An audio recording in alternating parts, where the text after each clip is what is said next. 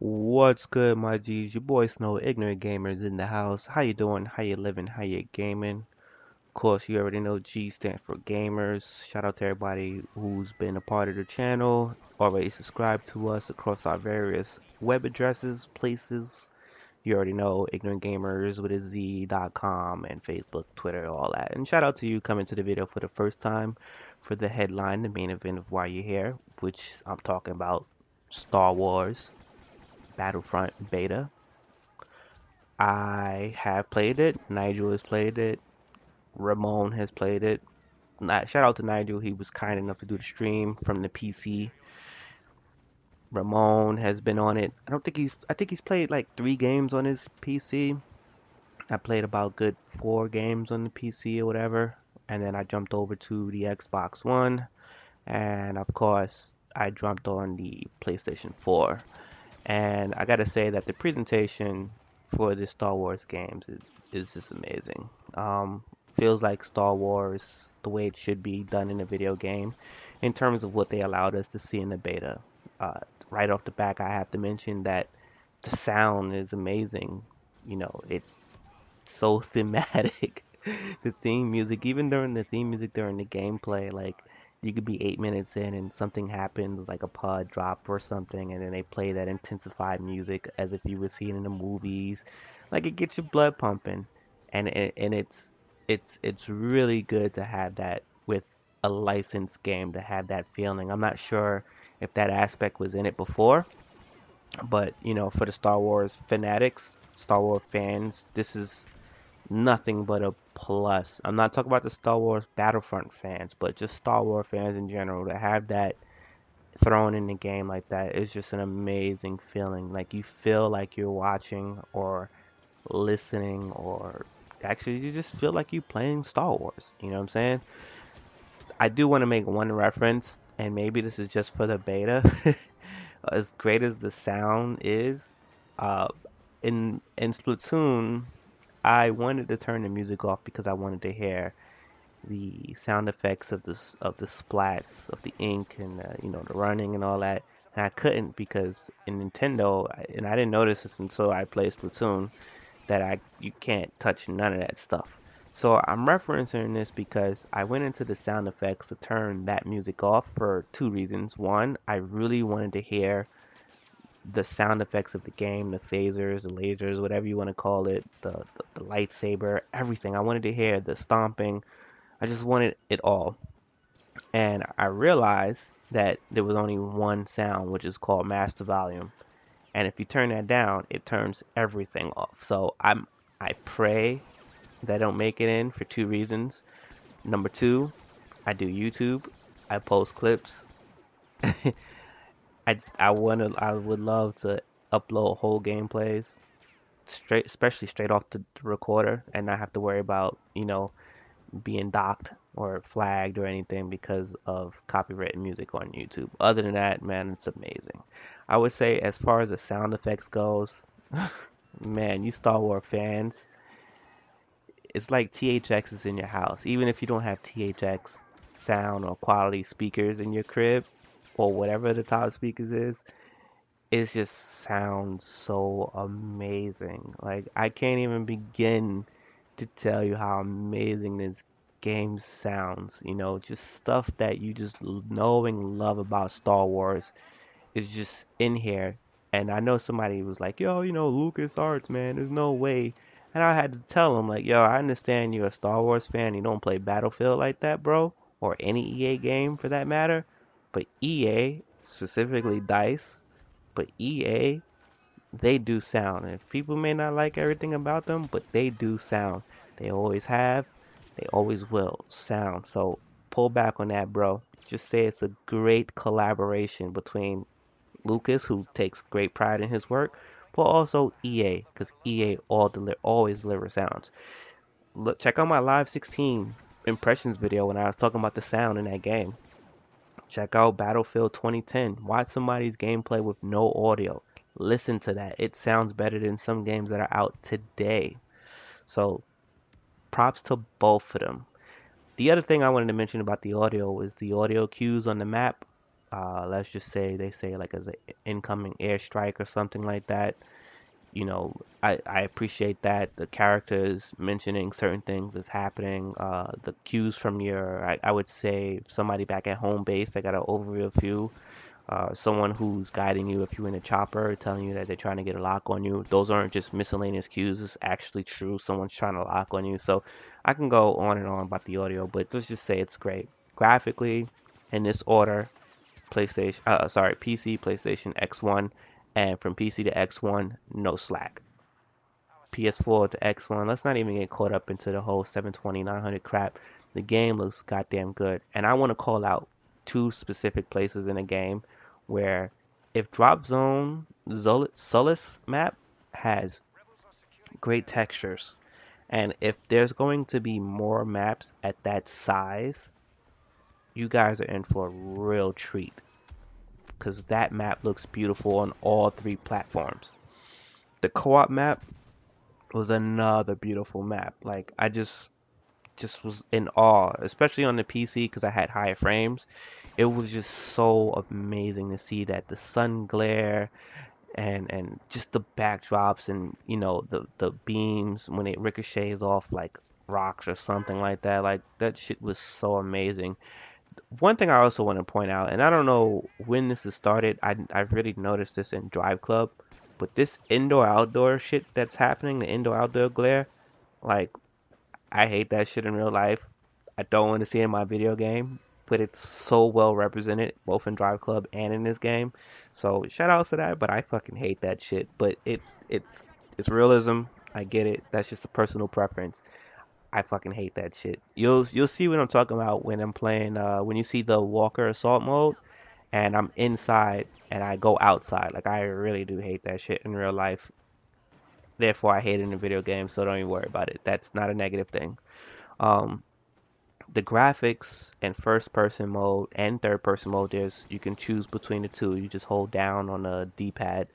You know, very, very, very, very good looking on both ends. Uh, on the co-op mode, I prefer the third person mode, and on first per uh, competitive play, I do prefer the first person. Although on PC, I would say that the third person in PC gives you a better field of vision and it almost gives you uh, well a better field of view and it seems to be a little further back although the console versions are equally the same but it seems like a RTS or, or sorry OTS as opposed to third person more over the shoulder and um, you know I hope that they can fix that because fix it to be more closer to the PC or back it up and make it like how SOCOM 4 Final Edition, Final Patchwork, because uh, that's true third person.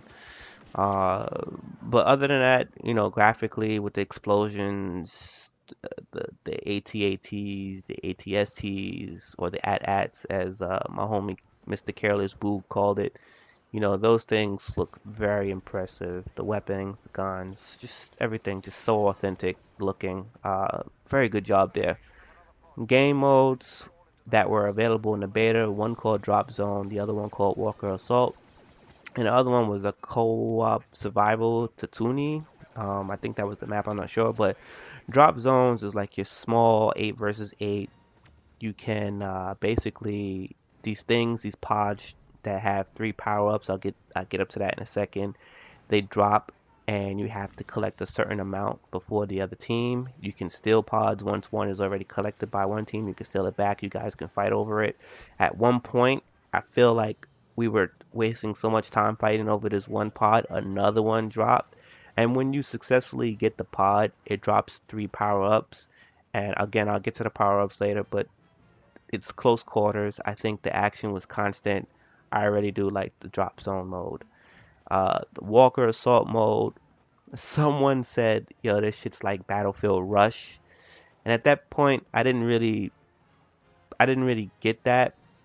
But I know that the game considers it a raid, and what that is is you got the big, you got two big ATATs. I almost call it AT-AT. Shout out to Mr. Careless Boo. Two big ATATs, and you know, for the majority of the match, you can't touch them right? The Imperial versus the Rebels, and it switches back where you get to be Imper- the Imperial, and then they got to be the Rebels. The Rebels, and you know you can get these things to be inside of them. I'll get to that in a second. And there is about a few points where if you and I'm still a little confused on it. I think it's both uplinks to find a weakness or some shit like that. Either way, they get a small window where everybody could just raid and just drop on them. And um, at, I'll get in. I'll get into that. Well, actually, I can get into that now. People feel like this mode, you're always gonna take an L if you're not the Imperials. And at the beginning, I didn't care. So that's why I feel like I felt that way until I started understanding the game better and understanding the game mode better.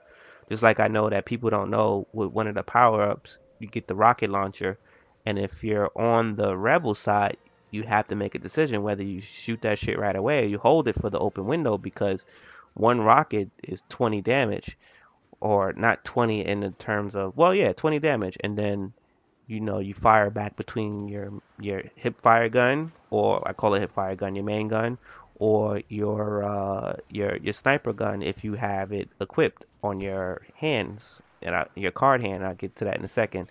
Um, which goes five for the for the gun on your hand, and then five for a full clip. And it's not really a full clip, but I'll get to that in a second too. So if you focus fire during the raid the raid points, you know you can you can win. I've won and lost as a rebel. So uh, no, I've won as a I've won as a rebel and I've lost as an imperial. So you know that's you know it, it it's there. The co-op survival and the beta was only six waves. I think they said it was 15. I wish they would have gave you a full 15.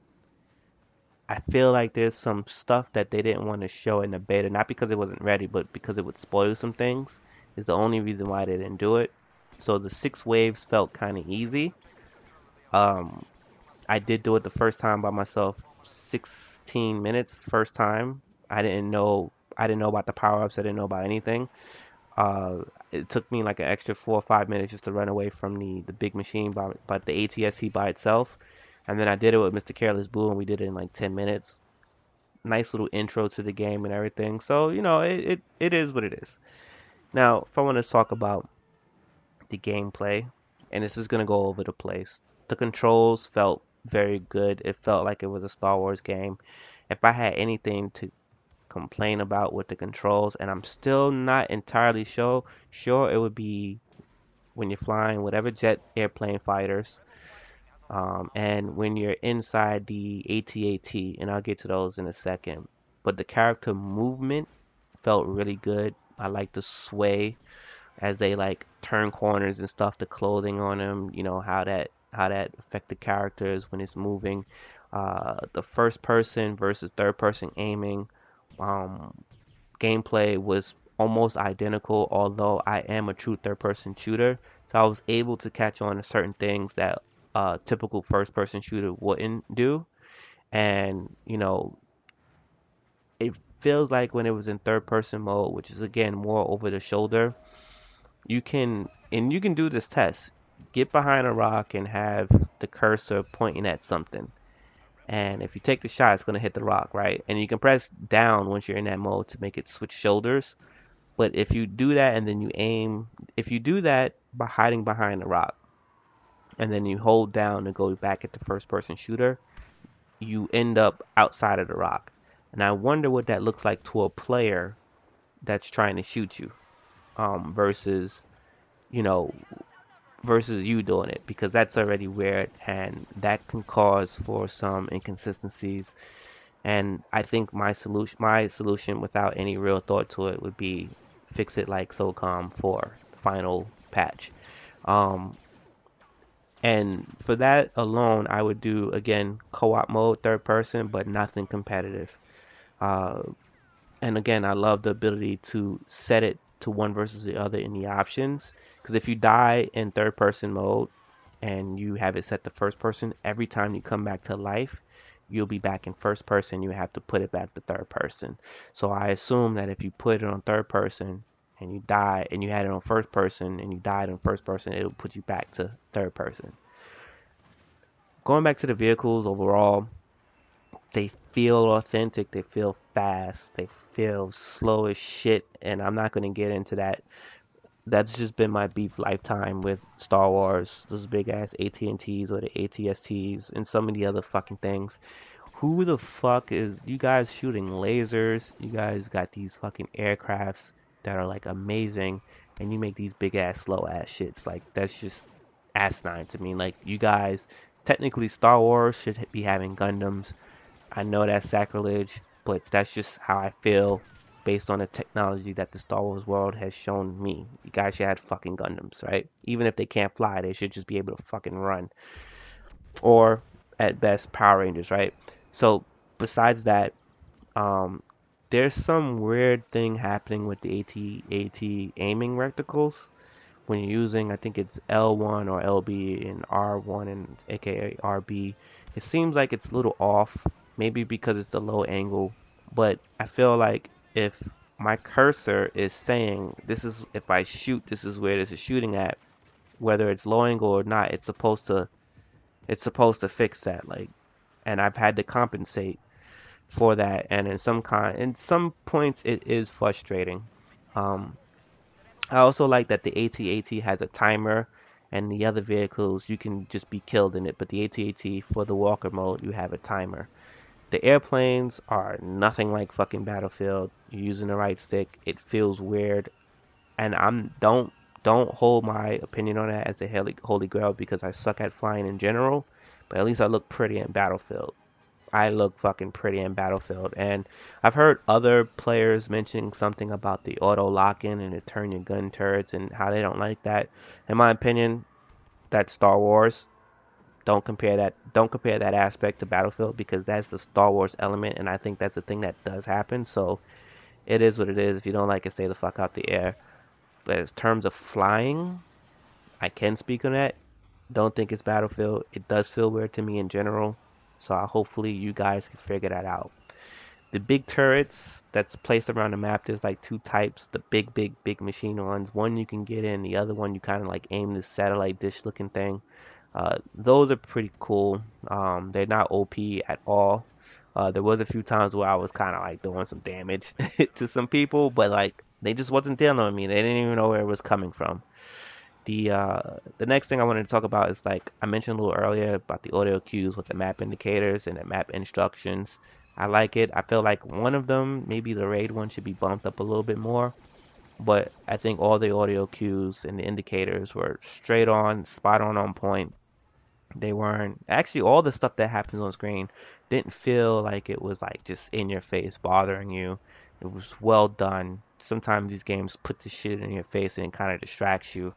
It continues to distract you. I feel like after I seen one, I was like, all right, keep going. In fact, the only thing I would bump up is when you get the hero power up, they need to kind of like give you an extra.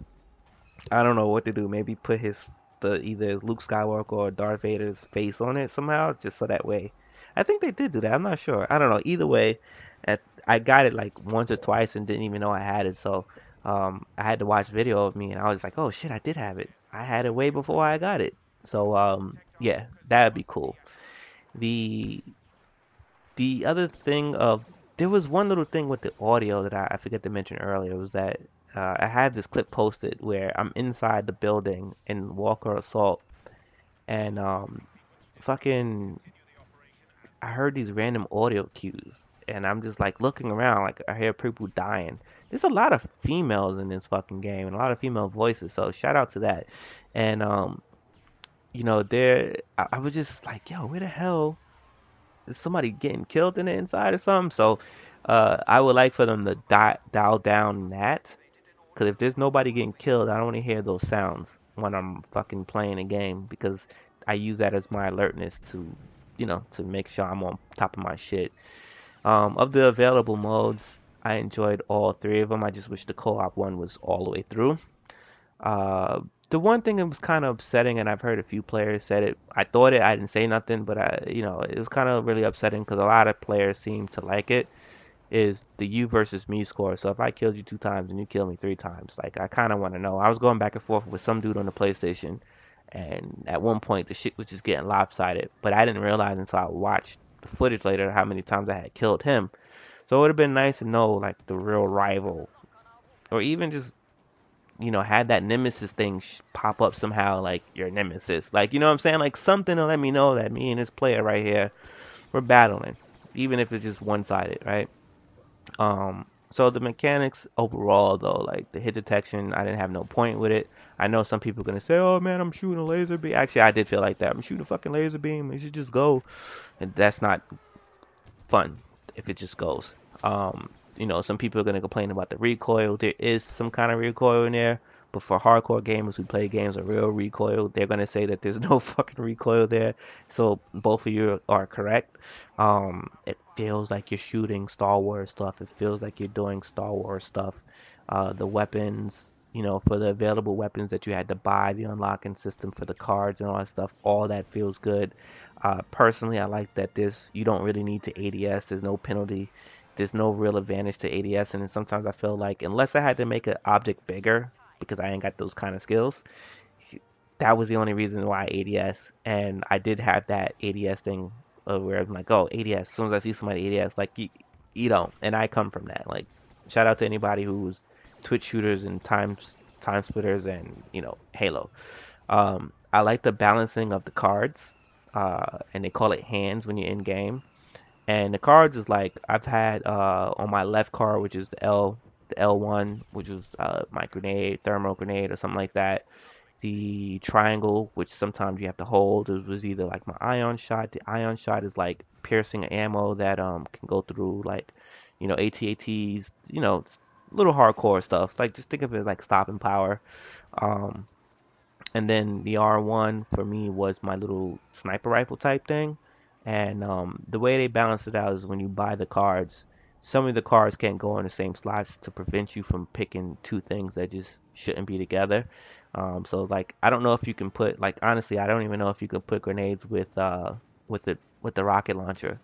I mean not with the rocket launcher, the grenades with the uh with the sniper rifle. I haven't tried that combination yet, but I know you can't uh, I, I know that in one slot you can't put other things. You know what I'm saying? And I feel like the triangle slot was really just for all the power, the the power ups you have, whether it's the ion charge or the um, uh, what was the other thing? The shield, the running shield, where you can't shoot out, but you could. Like that was cool.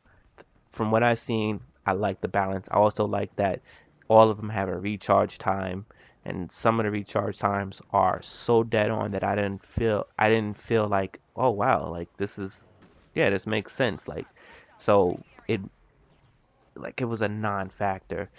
The super dope thing was that you can use your buddies if you have a buddy system. Yeah so there's a buddy system I didn't mention that but like if you have a buddy and they have something equipped that you don't have, you can't fix your cards on a on a fly, so you can use your buddy's cards, and that's dope. I like that. Um, I didn't really like that. Uh, I didn't get an indicator that my buddies that my buddy spawned on me, or that me and this person was collaborating on the kill. I like that they're gold on my screen, either on the in the kill in the kill feed. Um, I, I didn't really see me getting extra points for running with my buddy or for um, for you know assisting on a kill with a buddy or anything like that. So you know that would that would be cool. Um, sometimes the spawn system seems a little suspect. I don't want to get into that because I feel like uh, some of the times where I was put in these spawn positions, that was my fault. Spawning on a buddy, like I shouldn't. People people want to place blame on developers or, or other people for their own stupidity. Like if your if your buddy's pushed up somewhere and you press to spawn on that buddy and that buddy gets killed and you die because you spawned on him, yo, bro, that should happen. You you got two options. You either spawn back where the fuck you spawn supposed to spawn from, or you spawn on your buddy. If you're using your mic, you can fucking tell whether or not your buddy's good. Um, so I'm 50-50 on that. Uh, whatever they decide to do with that, I'm okay. Battlefield has kind of rectified that where they won't put you in a combat zone, but if no one's shooting at you, the game can't tell if you're in a combat zone. Maybe the person's waiting to get a good shot, and then they lined up the shot, and then your buddy spawned and took the fucking bullet for you. Shit happens.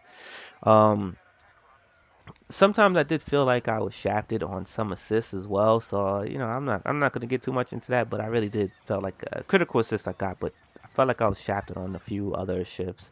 I love the accolades during the game, whether it's like combat master because I got 15 kills or you know, um, I forget the other one, headshot something, like headshot headshot streaks and shit like that. Like I felt all that stuff was cool.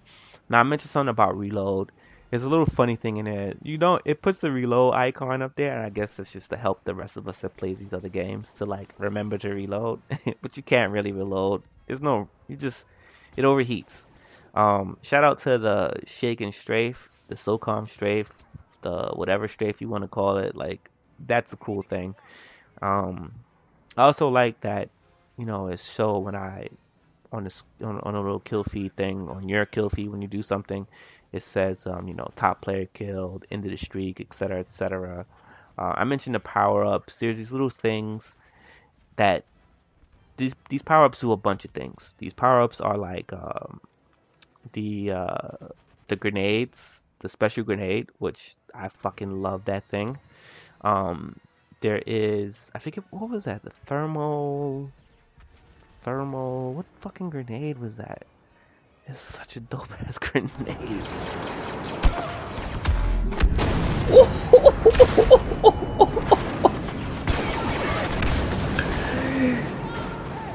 My god, do I love that fucking that imploder be the thermal imploder I think it was called.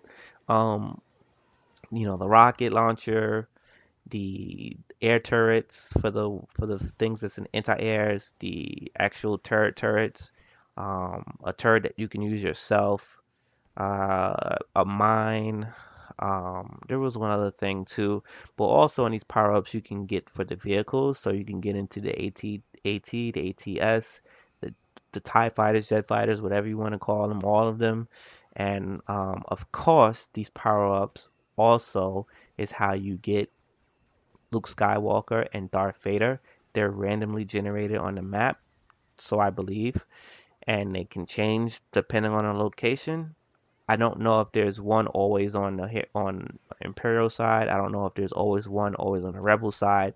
I will say when I was playing the Walker Assault, it feels like they're the ones that's on the Imperial side is more frequent because I see way more Darths than I see Luke, and that's no matter what side I'm playing on.